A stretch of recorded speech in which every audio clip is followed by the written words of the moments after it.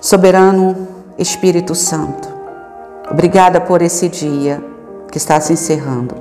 São 18 horas. Os teus filhos estão felizes porque nós começamos mais um mês. Mais uma semana de trabalho vai começar. Prospera o trabalho dos teus filhos.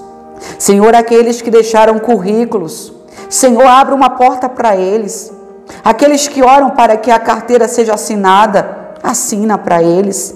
Aqueles que oram para que as famílias sejam restauradas, restaura para eles. Salva famílias, faz um milagre, Pai.